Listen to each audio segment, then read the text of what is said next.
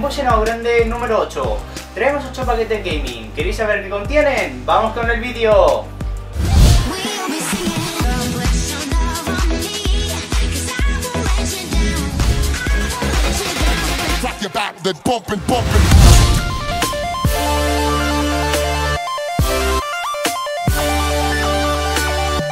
Empezamos con este paquete pequeño. Vamos a abrirlo.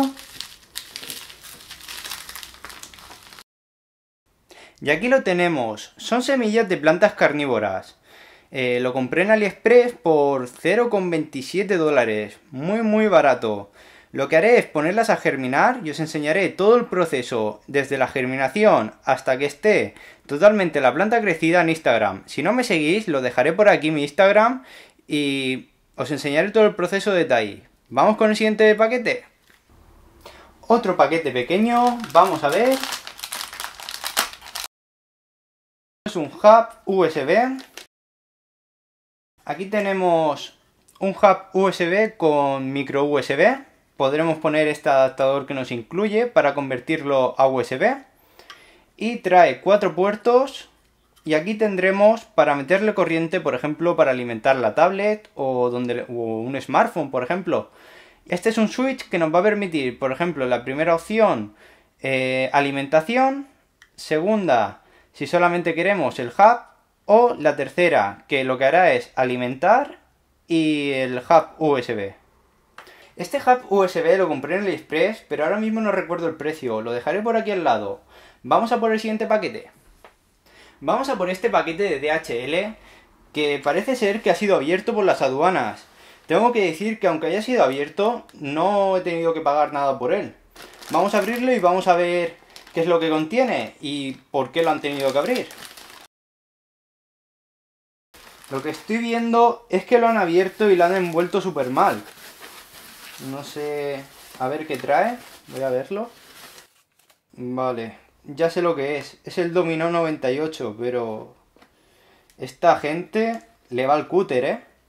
Porque mira lo que ha pasado. O sea, si fuera una caja valiosa o algo, se lo hubieran cargado igualmente. Lo que han hecho es cortarla con el cúter. Si tienen aquí el abre fácil, ¿por qué lo tienen que cortar? Si vemos, esto iba unido. Menos mal que no es valiosa la caja y a mí no me importa, pero no entiendo por qué tiene que hacer esto DHL. Si os ha pasado algo así parecido, dejármelo aquí abajo en los comentarios porque también me gustaría saber si habéis tenido una experiencia de este tipo. Vamos a verlo. Y este smartwatch me encanta, tío. Es el Domino 98. Lo, lo compré porque es uno de los pocos que tiene pantalla panorámica. Y la verdad es que lo veo interesante. También tiene una cosa muy interesante que es que tiene una batería de 900 mAh. Mm, lo demás mm, no es de los mejores smartwatch porque tiene una RAM de 512 MB. Cuando, por ejemplo, el D5 Plus que analizamos hace poco en el canal tiene un GB de RAM. Pero bueno, este tiene cámara delantera, que podemos hacer videollamadas con él. Eh, es de aluminio el cuerpo. Y bueno, eh, tiene 4 GB de ROM. Podemos meter la micro SD, como vemos aquí. Uy. Como vemos aquí. Uy. Aquí Voy a acercarlo para que lo veáis. Aquí tenéis para poner la micro SD. Y por lo demás, la pantalla es LCD de 2,2 pulgadas. Y tiene una resolución de 320 x 240 píxeles. El procesador es dual core a 1,2 GHz. Y bueno, tiene Android 4.4. Vamos a encenderlo y lo vemos un poco. La cámara es de 1,3 megapíxeles y tendremos bandas 3G y 2G. Mm, no lo podemos encender porque se ve que no tiene batería, pero bueno, este smartwatch lo vamos a analizar profundamente en el canal y ya lo veréis aquí. Vamos a ver el contenido de la caja. Aquí tiene el cable USB con el conector que tiene para cargarlo, que irá así pegado con un imán. Y vamos a ver qué contiene más la caja. Tiene un paño para poder limpiar la pantalla. Tenemos un libro de instrucciones que está en chino y en inglés. Y por último tenemos un protector de pantalla que ya nos incluye uno puesto, pero tendremos otro de repuesto. Este smartwatch lo compré en la tienda Top y está sobre los 78 dólares. Relación calidad-precio es bastante bueno. Y nada, lo analizaremos en el canal y pasamos al siguiente producto. Vamos a abrir este sobre. Es un trípode que nos va a permitir ponerlo en la forma que queramos. Lo he comprado para la cámara que tengo para hacer videoblogs y espero que, que pueda hacer planos bastante buenos con él.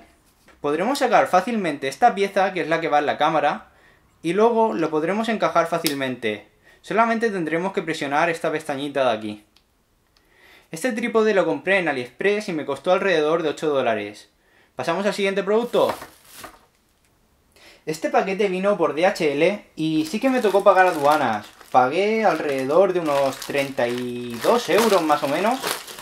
Y es porque me corría un poco de prisa y lo pedí por transporte urgente. Pero bueno, si queréis que venga más lento, pues tendréis que esperar unas 3 semanas y no tendréis que pagar aduanas. Vamos a abrirlo, yo ya sé lo que es, pero vosotros no. Vamos a enseñarlo. Y aquí lo tenemos, el OMI Z Pro. Es un terminal que a mí me encantó su versión anterior, pero esta ya ni te cuento. Tiene dos cámaras duales y ahora lo enseñaré. Vamos a ver las características de la caja. Dice aquí que tiene el MediaTek Helio X27, igual que su anterior versión, Decacore a 2,6 GHz. Luego incluye Android 6.0, pero es actualizable Android 7. Luego RAM 4 GB de RAM, ROM 32 GB, podemos ampliar la memoria con memoria micro SD. Tiene una batería de 3780 mAh, Full HD de 5,5 pulgadas, cámara delantera de 13 y la trasera son duales de 13 megapíxeles cada una, que es de Sony, Luego de las bandas, destacar que tiene la banda 800 en LTE, muy importante en España. Y vamos a abrirlo y ver el contenido de este Omidigi. Como siempre, primero incluye el smartphone, aquí lo vemos. Vamos a quitarle las pegatinas. A diferencia de la anterior versión, este pone UMI en vez de UMI, incluye las dos cámaras. Aquí tendríamos el autofocus. Y nada, por lo demás, estéticamente es igual. Lector de huellas aquí. Aquí tenemos la cámara, el altavoz, el LED de notificaciones creo que estaba por aquí o por aquí, no, no lo recuerdo bien. Vamos a encenderlo y lo vemos un poquito.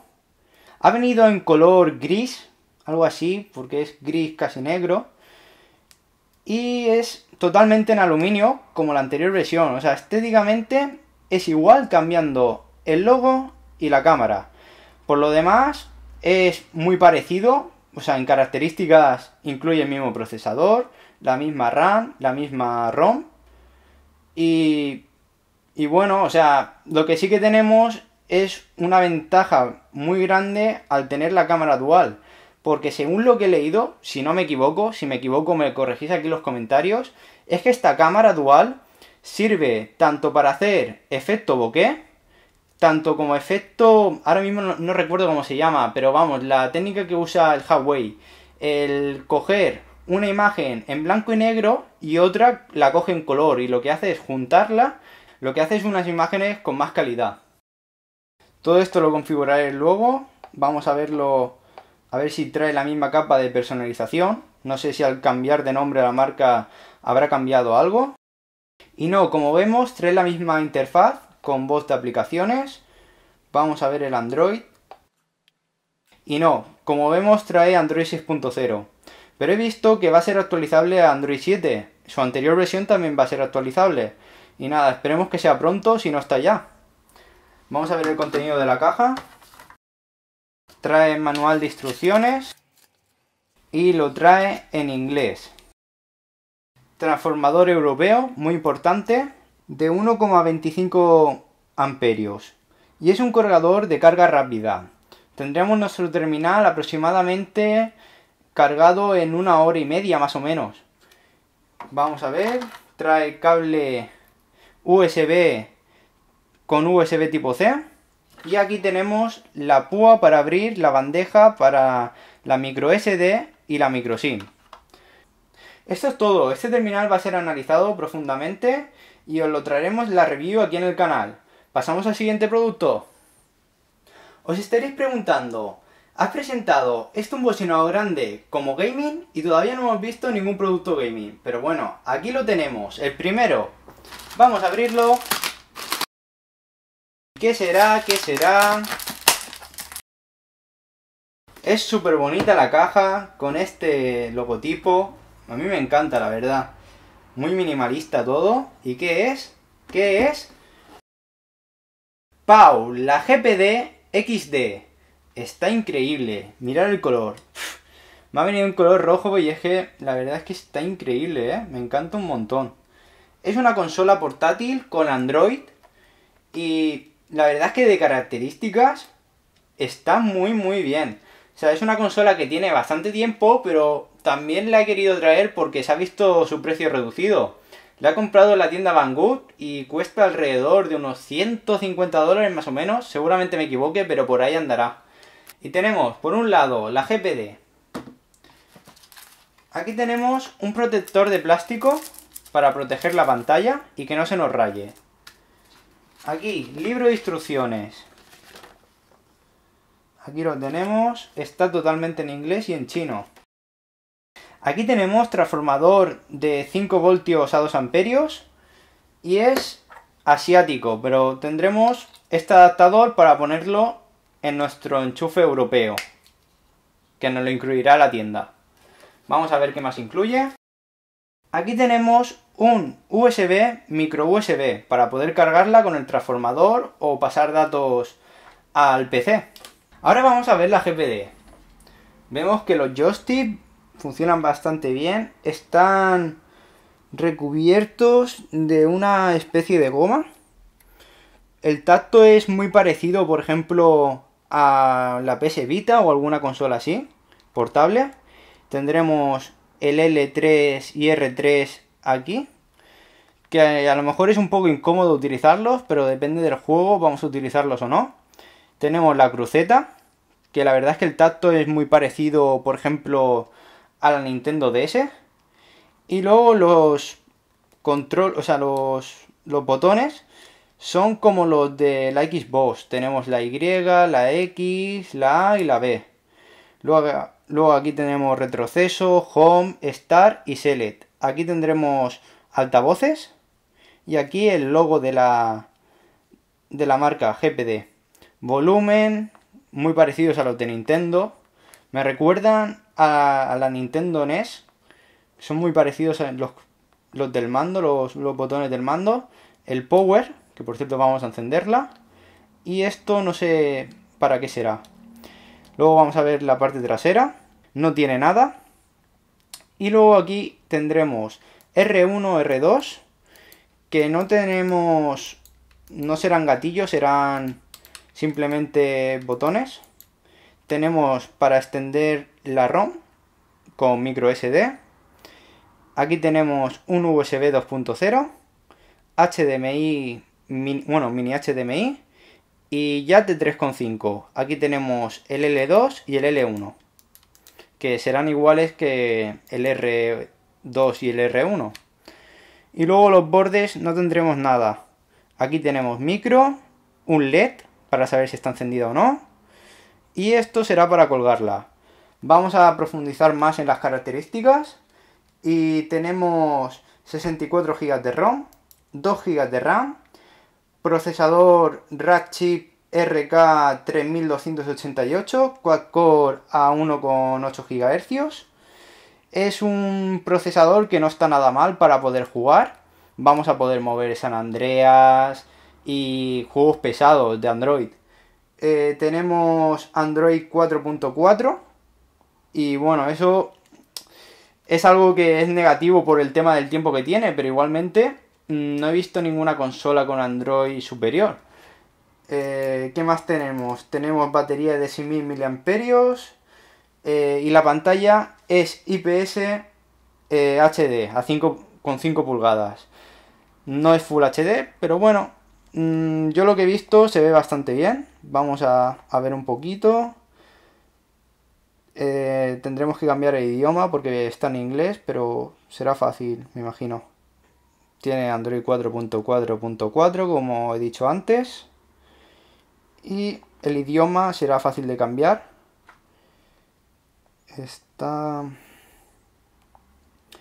Vamos aquí y tendremos todos los idiomas que viene con Android.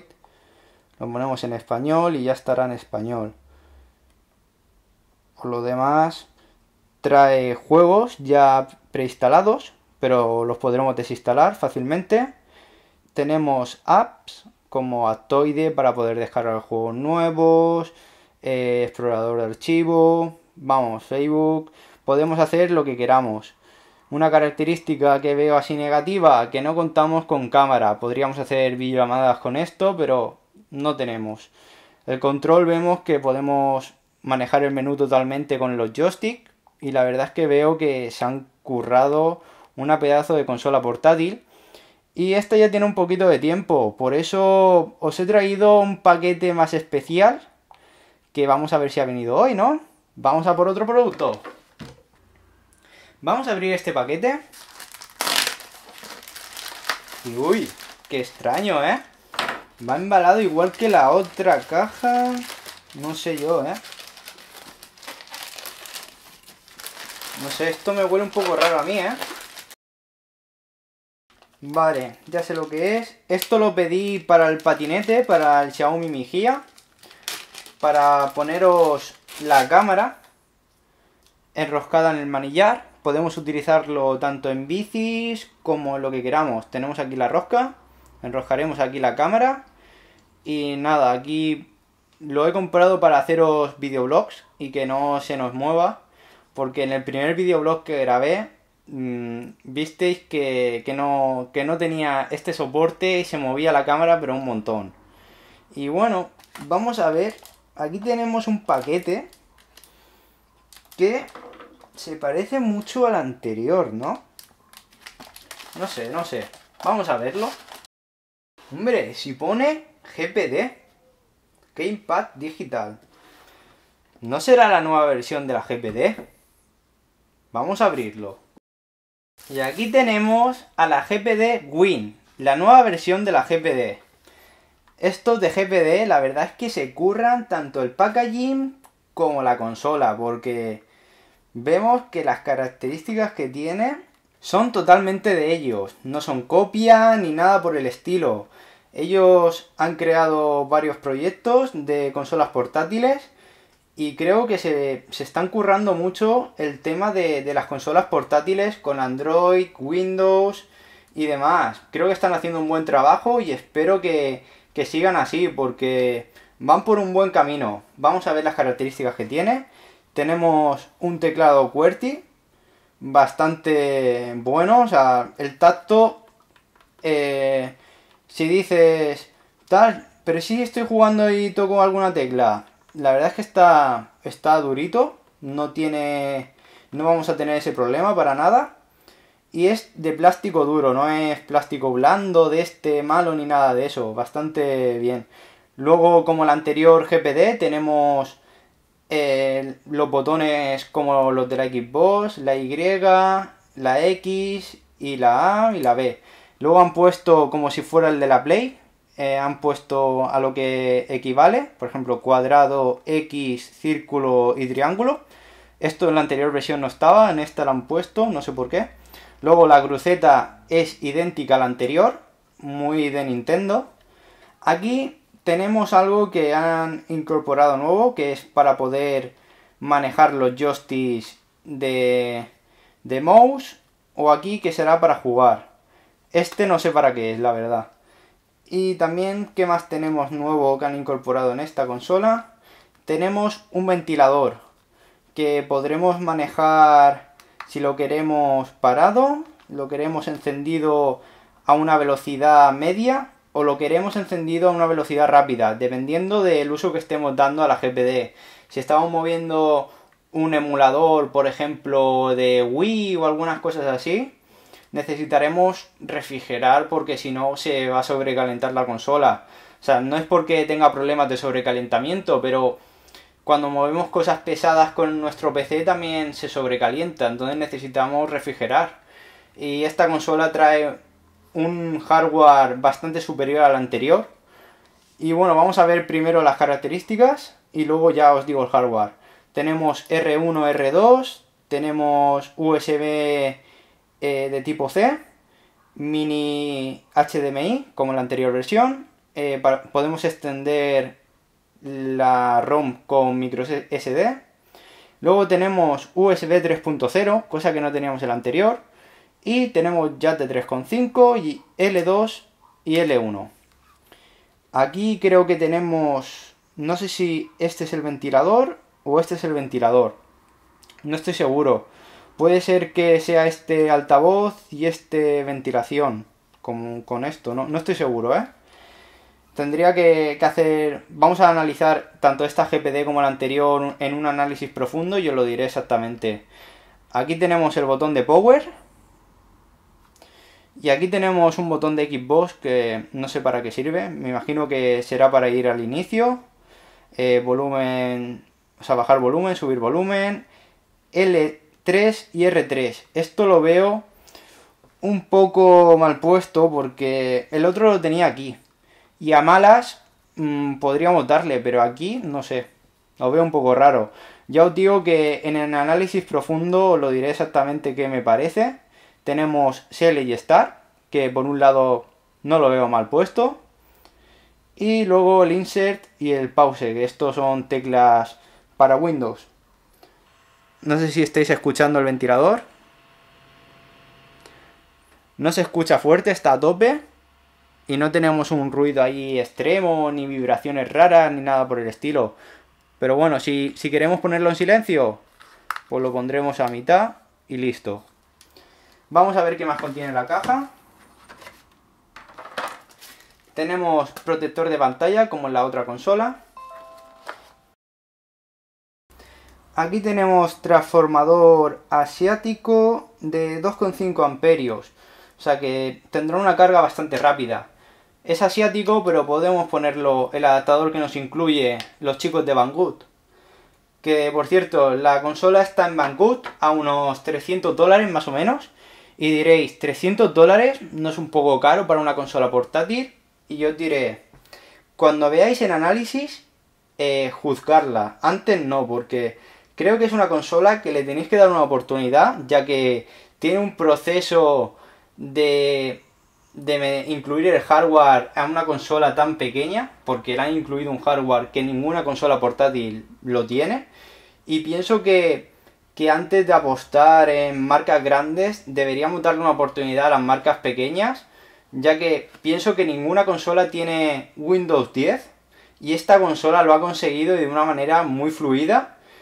Y eso, o sea, 300 dólares para esta consola, a mí personalmente me parece poco por, por el tema de, de investigación que han tenido que hacer para hacerlo tan reducido y que dure la batería, ya que Windows 10 tiene un drenaje bastante alto y entonces tienen que hacer eh, una consola que dure la batería, que mueva bien los juegos, que no se sobrecaliente y pienso que esta consola cumple con todo y además de una manera bestial. Así que si si queréis ver una, una review de esta consola, dejadlo aquí abajo en los comentarios porque me gustaría saber si la queréis ver realmente o no. Vamos a seguir viendo la caja. Aquí tenemos USB con USB tipo C para poder cargarla o meter datos del PC aquí. Y aquí tendremos unas instrucciones rápidas por aquí que está en chino y en inglés bueno, esto es la garantía con las características. Y esto sí que es un manual de instrucciones. Está totalmente explicado, con dibujos. O sea que si no está en español no vamos a tener problemas porque los dibujos con Windows 10 lo dicen todo. Cómo entrar a la BIOS, lo pone todo. O sea, por si tenemos que formatearlo, porque en Windows 10 tenemos virus, pero bueno. Igualmente, si llevamos cuidado, no vamos a tener problemas. Y si tenemos problemas, tendremos un recovery para poder formatearlo. Vamos con el hardware. Os he dicho que tiene un hardware bestial, ¿verdad? Pues nada, atentos, ¿eh? Son 4 GB de RAM. Tenemos 64 GB de ROM, ampliables porque tenemos tanto la micro SD como el USB. Si tenemos que instalar un juego, podremos hacerlo desde el USB. Luego tenemos un procesador Intel Atom X7 8700 a 1,44 GHz hasta 2,24 GHz. El procesador más bestia que habéis visto en una consola. Ni Nintendo, ni Sony. Vamos, algo increíble, ¿eh? O sea, realmente a mí me parece que eso como investigación se merece eh, el apoyo a GPD. Y pienso que se lo ocurran tanto en packaging, en todo. O sea, realmente si eres un amante de la tecnología y del gaming, debes apoyar los proyectos de GPD porque se lo están currando y creo que, debemos seguirles, ¿eh?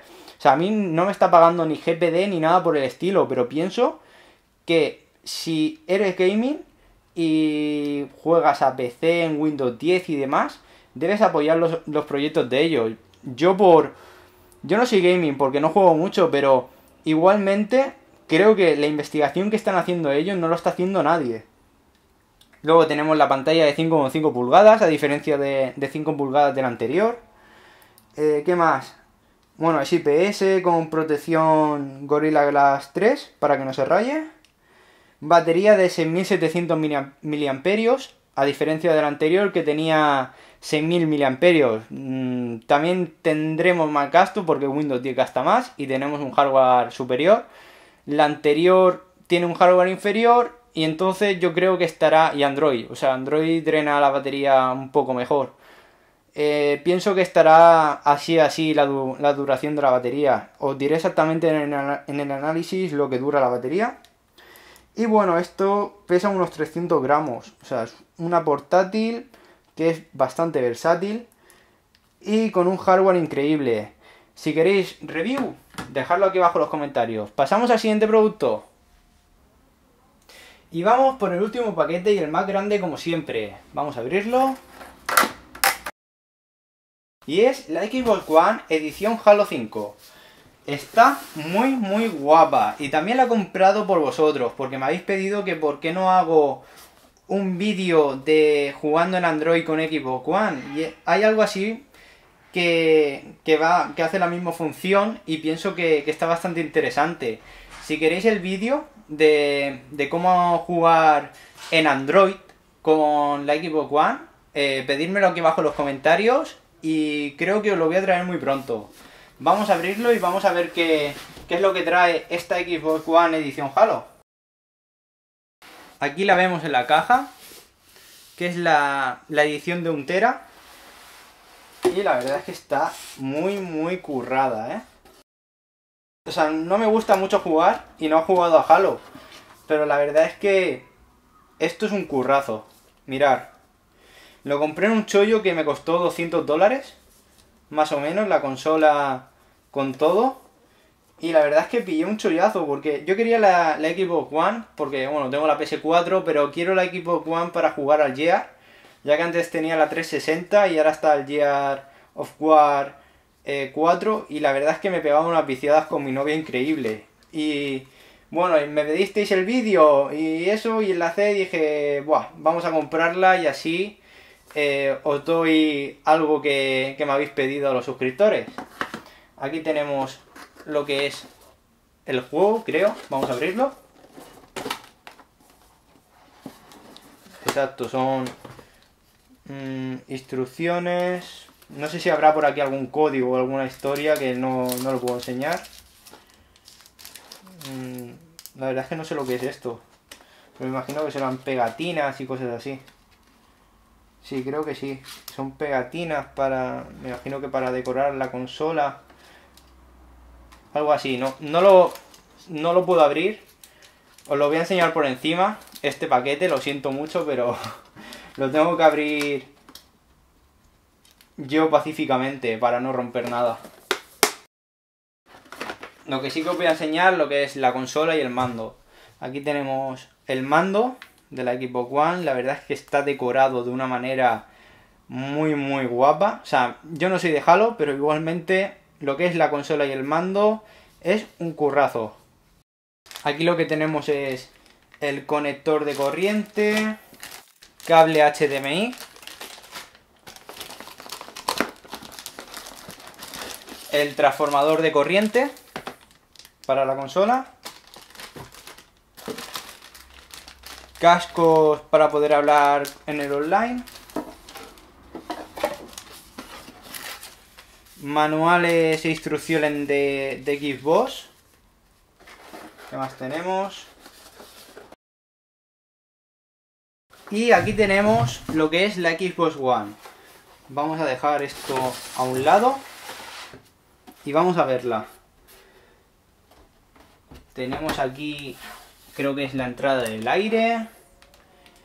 Aquí para meter el disco. Vamos, creo que es idéntica a la normal, pero se diferencia en que aquí tenemos esto con hexágonos y unas líneas y esto de color cromado azul. O sea que está muy muy currado. Y luego aquí tenemos el símbolo del, del juego, creo que es. De, del Halo. Está curradísimo. Luego por detrás pues tenemos todas las conexiones y demás como la otra consola de un tera igual. Y, nada, ya os he hecho un unboxing bastante completo de, la consola y de lo que incluye. Eh, pienso que, que más no, os puedo enseñar, la verdad, porque quien tiene la, la Xbox sabrá cómo es por dentro y demás. Y aquí tenéis el unboxing de esta Xbox One edición Halo. Y hasta aquí el unboxing grande número 8. Si te ha gustado el vídeo, deja un like, suscríbete al canal y dale a la campanita para ser notificado. Ahora solamente me queda recoger todo esto, que vaya tela. Puedo hacer hasta ángeles aquí como en la nieve. Y nada, nos vemos en el próximo vídeo.